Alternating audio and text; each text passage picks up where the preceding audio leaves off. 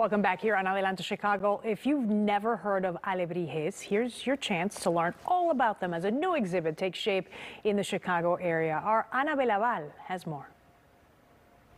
Lourdes, I am so excited about this larger than life exhibition at Cantigny Park. is here until October, and it's all about alebrijes, those mythical creatures that a lot of people came to know because of film Coco, but they are so much more than that to the Mexican culture. I'm here with Sarah Phelan from the Mexican Cultural Center of DuPage. Good morning, Sarah. Good morning, Anna. You guys commissioned this exhibition. Tell me a little bit about how the idea came about. So we do large-scale art pieces once a year and usually have been based in the city of Chicago, West Chicago with mm -hmm. those.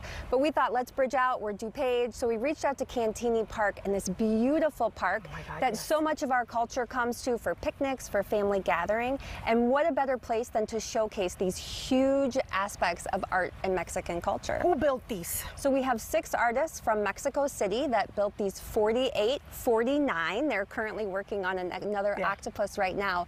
They built these mostly in Mexico because of the pandemic pandemic. They were mm-hmm. supposed to come over in January and February, but they ended up constructing most of them and then in pieces they were shipped here. So you have uh, how many monumental ones? So we have 18 Alebrije Monumentales mm -hmm. and those are the large ones and then 30 additional smaller pieces. And you're staying very faithful to the original concept.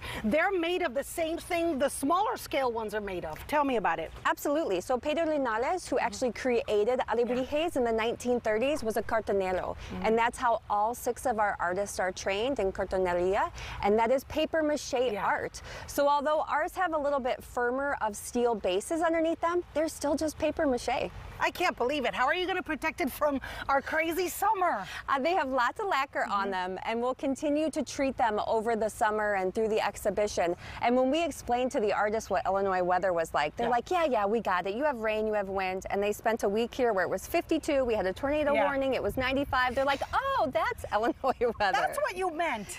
Yeah, yeah, that. and I love that they are also building one as we speak that will be featured as a collaboration. Absolutely. Mm -hmm. So all six artists are working together on an octopus that they'll be building here at Cantigny Park through the 4th of July. You guys bought these, you commissioned them so that all these artists could get a paycheck Absolutely. quickly, have, um, you know, it would be a fair trade, if you will. Absolutely. What are you going to do with them when they're done?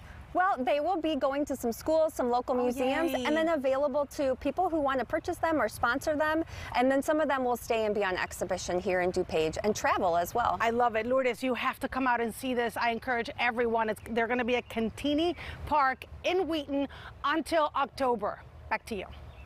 Oh, it sounds fantastic. And there's the information on the screen. Alebrijes, Creatures of a Dream World through October 30th, Cantigny Park in Wheaton. And again, the website, cantigny.org.